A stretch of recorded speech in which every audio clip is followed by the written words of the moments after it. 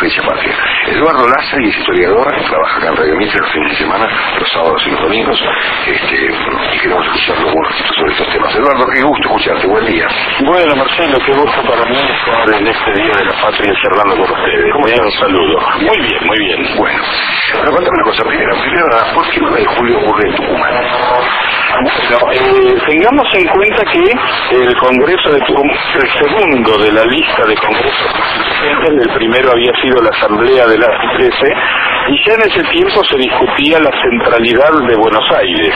Recordemos que ahí Artigas no participa de el Congreso General de la Asamblea por esa razón. Tucumán se reúne por una cuestión geográfica el virreinato del Río de la Plata que iba transformándose en las Provincias Unidas, un diputado que iba desde Buenos Aires tardaba un mes y medio en llegar a Tucumán y un diputado que viniera de Cochabamba, de Mojos, es decir, del Alto Perú, lo que hoy es Bolivia, tardaba lo mismo. Es una razón geográfica. Ah, Por eso, sí. por eso tuvieron que buscar una casa más o menos acomodada, que es la casita de Tucumán, que para ese tiempo era de lo mejor de la arquitectura colonial que había en Tucumán. ¿Y esa casa de quién era? Era de Bazán de Laguna, una patricia tucumana. Esa casa tuvo un triste destino porque después de muchos años pasó a ser sede del correo en Tucumán y el presidente en 1900 ordenó demolerla. Es decir, lo que nosotros vemos hoy de la casa de Tucumán cuando vamos a San Miguel de Tucumán es una reconstrucción histórica muy bien hecha, pero las únicas paredes originales son las de la sala de la Independencia. El resto es una reconstrucción. ¿Y? Eh, era una, digamos, el liberal que gobernó eh, durante la época de la generación del 80 consideraba que había que eliminar los signos que vincularon a la historia argentina con lo español. Es decir, esa historia de cambiar la historia no es nueva en Argentina.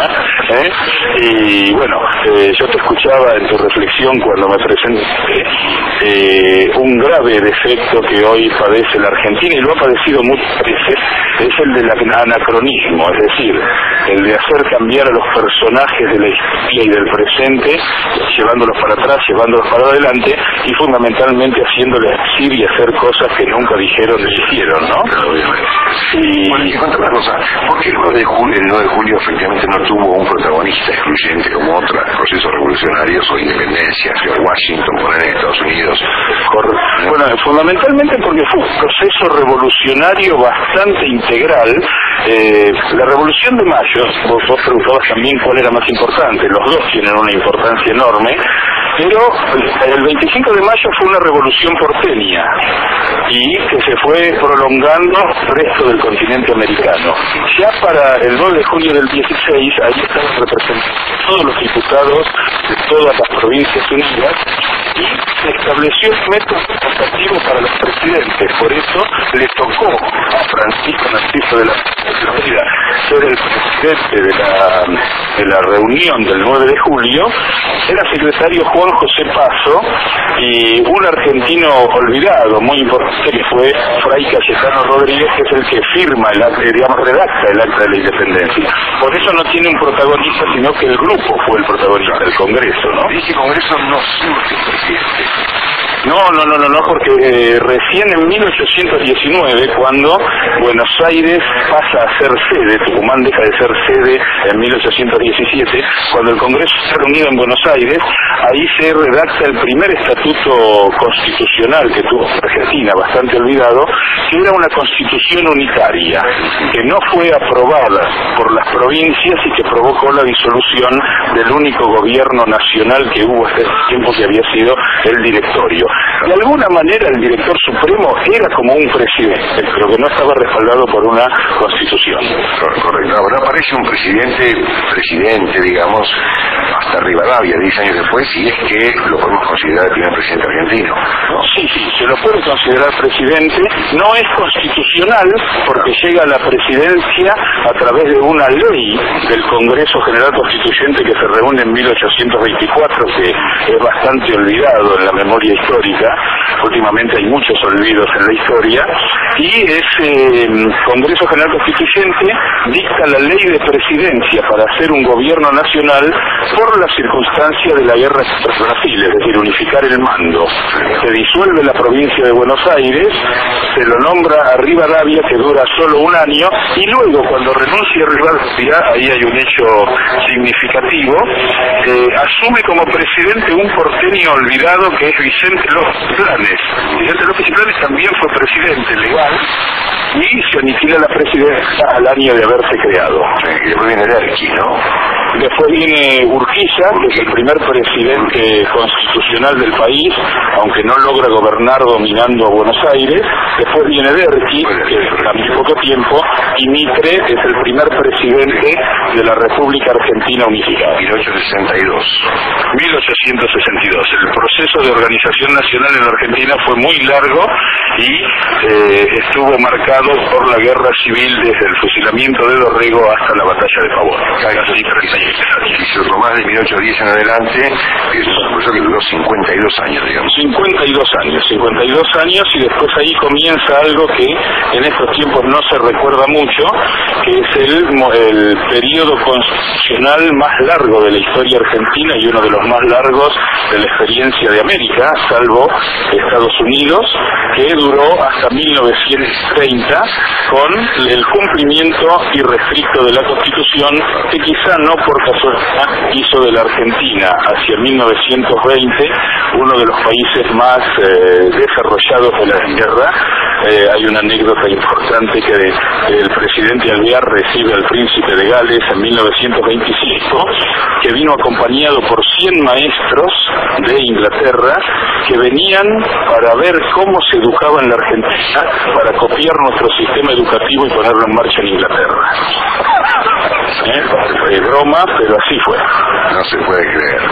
Claro, después de, después de Mitre en Avellaneda, Sarmiento, y ya en la etapa de Carlos Pellegrini, claro. presidentes importantes, digamos. Presidentes que establecieron un paradigma ideológico que lo llevaron a cabo y que muestra, si uno mira la historia desde los hechos y no desde la expectativa ideológica que uno tenga, eh, donde primero la Argentina constituyó su organización institucional, luego, luego organizó su eh, economía y luego, eh, debido a la inmigración, modificó su estructura social que terminó en el voto secreto y obligatorio, que es paralelo a lo que pasaba en el mundo en ese tiempo y ubicaba a la Argentina entre las naciones más modernas del mundo.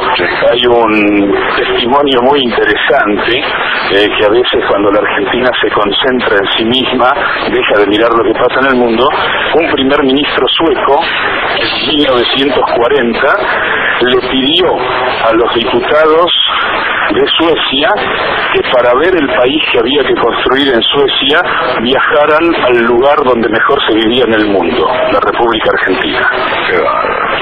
Una cosa, la figura de la Frida ha quedado de algún modo como pagada por la historia, ¿no? Sí, sí, la Frida eh, fue quedando en el olvido. Por un lado, San Juan tuvo tres grandes personajes y prácticamente todos quedaron eclipsados por Sarmiento.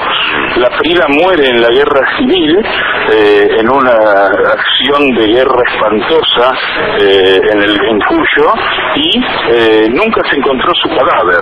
Muere en un episodio de la guerra civil, lo cual evitó de alguna manera que se le pudieran hacer homenajes al personaje. Una curiosidad de la historia que no lo ha ubicado a la Frida, como algunos otros personajes, en la memoria histórica como corresponde, ¿no? Cuando decís que muere la guerra civil, exactamente qué te referís? Eh, bueno, desde 1828 que es el, se produce el fusilamiento de Dorrego y la primera acción política violenta del Partido Unitario contra el Partido Federal, a partir de ese momento comienza una larga eh, guerra civil con diversos grados de intensidad, en algunos momentos prácticamente de convivencia, pero donde el interior que respaldaba al pensamiento unitario y el litoral que respaldaba el pensamiento federal fueron peleando eh, se calcula que son 490 las batallas de la guerra civil entre 1828 y 1862. Después, cuando se escribió la historia, la idea de Mitre eh, y de Vicente Fidel López fue mostrar cómo el que el proceso de construcción de la República fue menos sangriento, que la revolución fue revolucionaria, no vaya a ser cosa que los pueblos se convencieran que la revolución y la guerra civil era el camino de la construcción, ¿no? Pero eh, la guerra civil fue verdaderamente terrible, se calculan unas 150.000 muertes en una población de Argentina que no llegaba a los 800.000.